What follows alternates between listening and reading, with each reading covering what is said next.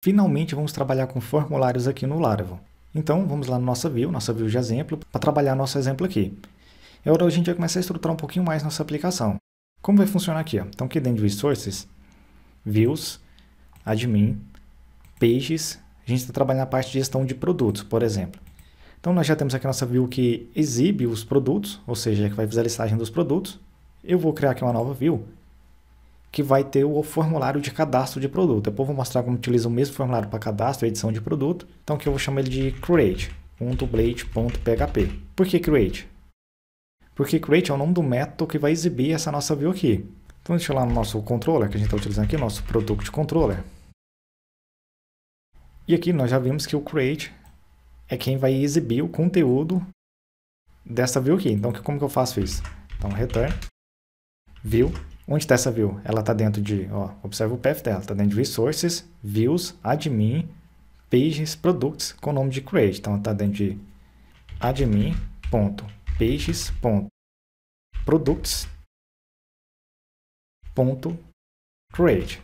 Não precisa passar nenhum dado para ela. Ok? Então, nosso método create, ele vai exibir o conteúdo dessa view aqui. Primeira coisa, eu tenho que estender estender o nosso template. Então, utilize nossa diretiva extends.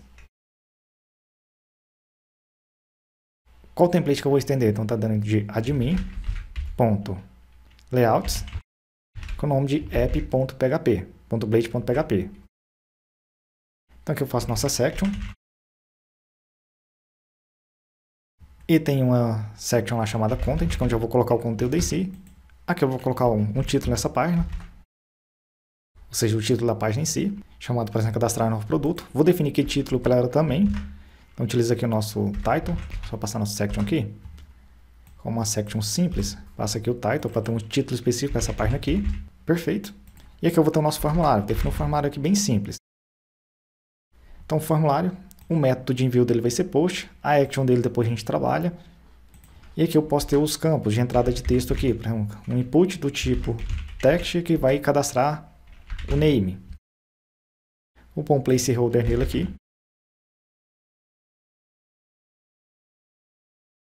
Vou ter aqui um outro para cadastrar, por exemplo, a descrição. E eu vou ter um botãozinho, vai ser um input mesmo, do tipo submit, que vai ser para submeter o formulário. Pode ser um input ou pode ser um próprio button, mas é importante que ambos sejam do tipo submit. Então o type dele seja submit, porque com isso, ele estando dentro desse form aqui, ele vai submeter o formulário, vai enviar o formulário chamar aqui de enviar.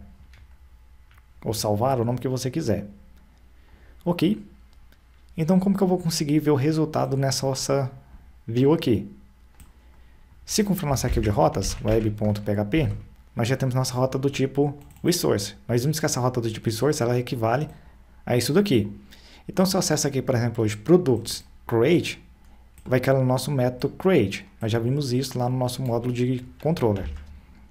Então, acesse products barra create, já vai cair aqui, lá no nosso formulário.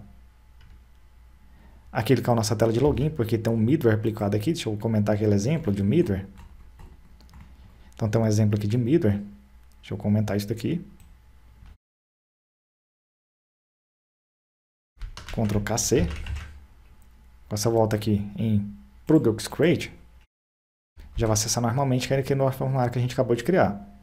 Veja que eu passei o path aqui errado, está falando que nossa view que admin layouts, ficou errado aqui, app not found. Então esse erro está aqui. Ó.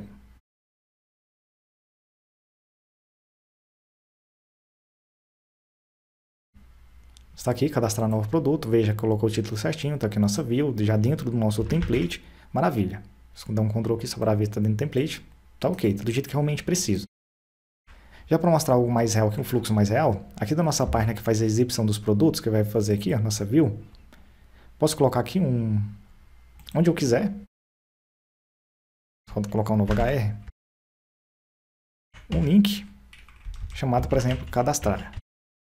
E ele vai enviar para aquela rota de cadastrar. Atualizar aqui para ver.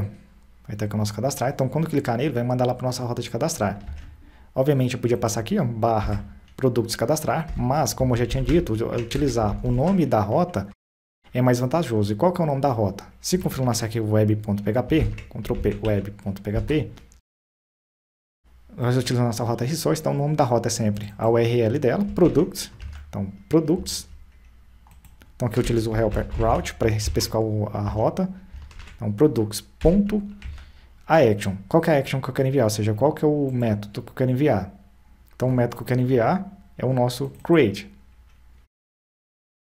É o nosso create. Então veja que também, ó, tá aqui, ó. Eu tinha feito esse exemplo anterior aqui, ó, mostrando exatamente como que funciona. Então product create, products create.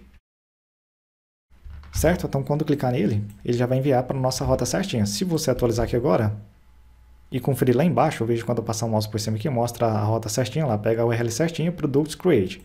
Se eu clico agora, vai mandar para nossa rota de criação de um novo produto. Então já está ok. Veja que já está nossa navegação que já começou a ganhar mais sentido, começou a fazer mais realidade. Já temos aqui o nosso formulário de cadastrar um produto. E agora o que, é que eu tenho que fazer? Quando mandar cadastrar aqui, por exemplo, ele tem que cair no método que vai fazer o cadastro de um produto em si. Qual método vai fazer o cadastro de um produto em si? É o nosso Met Store. Então, que o nosso produto de controle, nós temos aqui o nosso Met Store. É nele que vai fazer o cadastro. Então, como que eu faço cair nele aqui? Eu tenho que definir a action desse formulário aqui, justamente para enviar para aquela nossa rota lá, ou seja, a rota que vai enviar, direcionar para aquele controller, o método desse controller. Qual que é a rota? E trabalho com controle do tipo resource. Vendo aqui, ó, ele é o é a rota com verbo HTTP post, products, vai aquela nossa Met Store. Então o nome dela é product, products, que é o nome da URL, ponto a action que eu quero enviar. Qual que é a action? Store. Então vamos colocar aqui, ó. A action desse formulário. Então novamente eu utilizo aqui o nosso helper route para especificar a rota pelo nome dela, sempre utilizando dessa forma aqui. A URL é products, ponto, qual action eu quero enviar? Store. Também que é lá no nosso MetaStore, no nosso Product Controller. O verbo HTTP default desse nosso formulário aqui é post. Como a requisição ele espera a requisição post, já está ok. Ele vai dar um pequeno problema de segurança que eu já vou mostrar aqui que é, que é a questão do CSRF, que ele valida essa requisição aqui, a requisição post, porque ele cria um token aqui para validar se a requisição realmente válida. Agora sim a gente vai conseguir fazer o teste real. E aqui para ter certeza que é aqui, por enquanto eu vou utilizar simplesmente no nosso MetaStore um DD, falando que está aqui, ou cadastrando. Perfeito. Se eu vier aqui hoje e atualizar, se você dar um Ctrl aqui na página, vai ver que a action já está ok. Perfeito, já está aqui a URL que vai enviar. E o verbo HTTP que vai enviar, post. Então, se eu mando enviar aqui, ele vai dar um erro, que é o erro de CSRF. Deu, deu esse erro aqui, ó, página inspirada, 419 que é o erro aqui, que ele, um exception que ele lança para 419, quando você não passa o token aqui.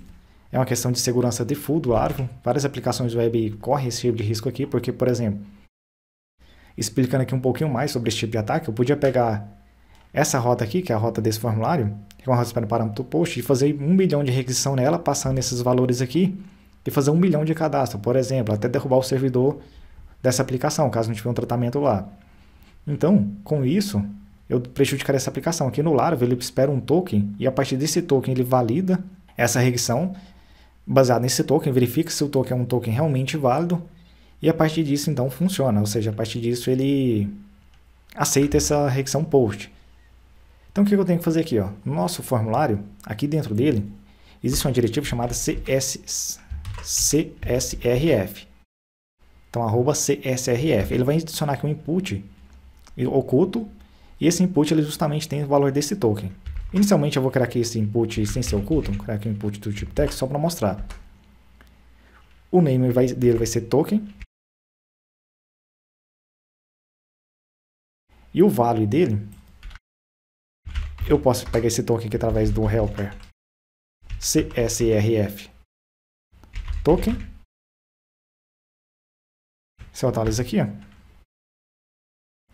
Está aqui o nosso token e esse token aqui que ele utiliza para validar essa requisição. Se eu mando agora enviar, já caiu lá nosso cadastrando. Veja, porque agora como eu enviei o token aqui, ele já sabe que essa requisição partiu dentro do próprio Laravel e é uma requisição válida, ou seja, uma requisição ok. Porque ele verifica se o token que está na sessão é igual ao token que está no formulário.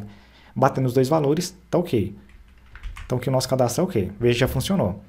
Obviamente aqui você pode mandar esse cara como hidden para esse valor não ficar aqui para o usuário, que o usuário Ver isso aqui ele vai ficar louco. Então o que, que você pode fazer? Manda esse valor como hidden ou simplesmente utiliza aqui a diretiva CSRF, que é a que eu tinha falado. Ele já vai querer esse mesmo campo, só que hidden já contou que o nome tudo certinho. Atualiza aqui. Ó. Aparentemente não vai ter nada diferente, mas se der um Ctrl na página, está aqui o nosso input com o nome de token e com o valor do token para validar essa requisição aqui. Se eu mando enviar aqui, continua aqui ok nosso cadastro. Perfeito. Então aqui nós já temos nosso primeiro cadastro, a gente já direciona essa requisição lá para o nosso formulário, ou seja, lá para a action do nosso controller, o método controller onde vai fazer o cadastro do produto específico, e já está tudo validado e também todas as questões de segurança foram tomadas aqui.